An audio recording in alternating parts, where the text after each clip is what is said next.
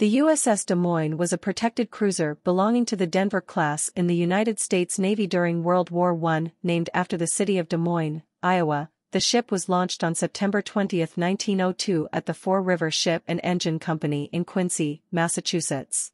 The commissioning took place on March 5, 1904. Throughout its service history, the USS Des Moines undertook various missions and duties.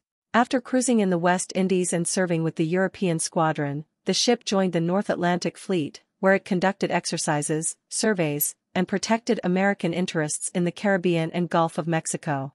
In 1910 and 1911, the Des Moines ventured to Africa to gather valuable information about commercial and political conditions. It later returned to its duties in the Atlantic and West Indies and underwent repairs in Boston. During World War I, the USS Des Moines played a crucial role in protecting American citizens and interests in the Middle Eastern theater.